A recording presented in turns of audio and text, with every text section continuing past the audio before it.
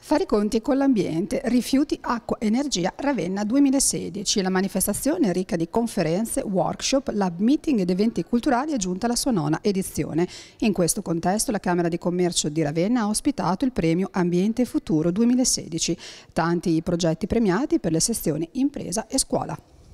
Oggi la giornata è dedicata al premio Ambiente e Futuro e soprattutto assume una importanza rilevante in quanto cerca di guardare sia sul mondo dell'impresa che sul mondo della scuola. Sul versante dell'impresa certamente gli interventi green sono fortemente aumentati, basti pensare che il 47% delle aziende italiane, ed è un dato questo che si riflette anche nella provincia di Ravenna, sono aziende che hanno fatto una scelta portante sugli effetti delle attività green.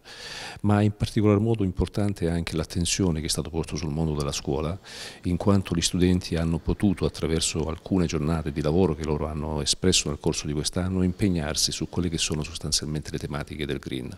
che toccano la vita dell'individuo, la vita delle nostre comunità locali, ma toccano soprattutto alla vita delle grandi comunità. Questa mattina non farò un intervento strettamente scientifico come ho fatto nelle precedenti edizioni, ma mi soffermerò proprio sull'importanza del premio Ambiente Futuro. Questo premio che la Camera di Commercio ha fatto nascere ormai sei anni fa, siamo giunti alla quarta edizione e ha avuto un costante crescendo di partecipazione, ma quest'anno possiamo dire che c'è stato proprio un boom delle partecipazioni, sono quasi raddoppiate e eh, è molto bello vedere che le scuole eh, prestano sempre più attenzione ai problemi dell'ambiente e della sostenibilità